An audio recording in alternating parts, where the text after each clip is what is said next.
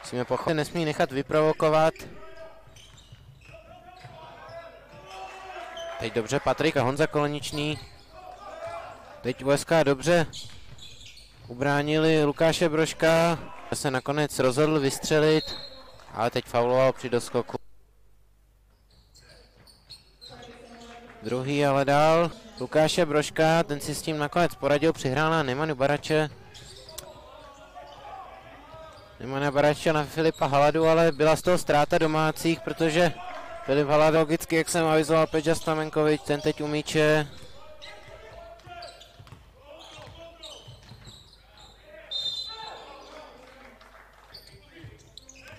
Samoura. No a Robert Trikič. Samoura. Bránil Neman a Baráč. No a je to koš s faulem. Abych byl upřímný, já bych ten koš uznal. Stamenkovičovi.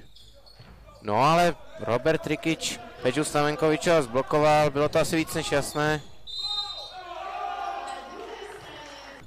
Petr Sedmák. Tak teď Moura střílí dva trestné hody.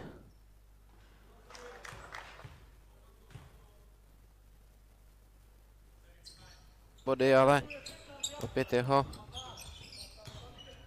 oblíbený stop jump, no, ale to. Samoura.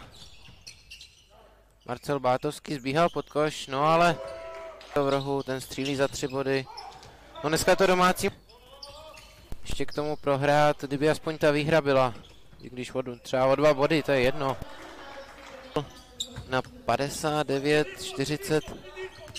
46, no ale před malou chvíli Petr Sedmák dal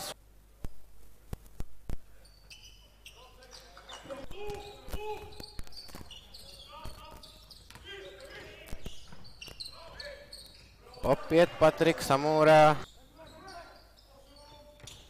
Samoura už hraje na koš, pět vteřin do konce útoku k USK. Nakonec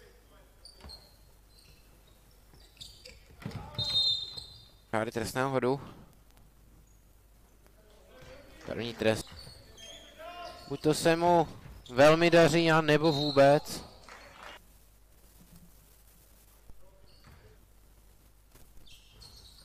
I na podruhé. Nahradil Peťu Stamenkoviče v této činnosti.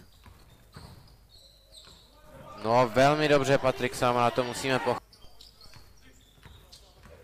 No a teď opět Samoura. Ještě, že...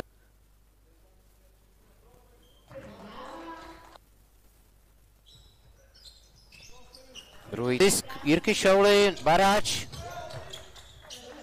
No. Škoda.